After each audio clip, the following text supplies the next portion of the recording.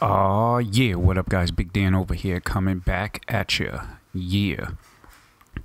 And yeah, the finally uh, releasing in September uh, the new A7R4. Very excited for this. And uh, yeah, we're going to have the world's first uh, 61 megapixel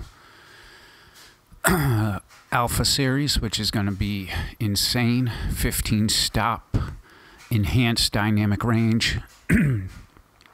Still having the five axis uh, in body image stabilization, 10 frames per second, 556 phase detection autofocus points, uh, real time Eye AF or eye autofocus, which is great, and uh, it's supposed to work for movies too on humans and animals, which is going to be insane and uh, real-time tracking, of course, and the new OLED viewfinder at 5.76 million dots.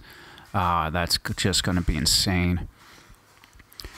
And uh, yeah, also uh, they're releasing a new microphone for it, as well as some other accessories. So uh, that's going to be real dope for uh, vlogging and all that. But uh, yeah, can't wait to uh, get my hands on this. You know, I'm gonna definitely pre-order it, and uh, yeah, can't wait to do a real review. But uh, just figured I'd let everybody know A7R4 killing the game, guys. If you uh, didn't jump on the Sony ship, I suggest now is the time, and it's uh, supposed to be released in September for around 3,500 bucks. So yeah, let's get it. Big Dan over and out. Peace out, fellas.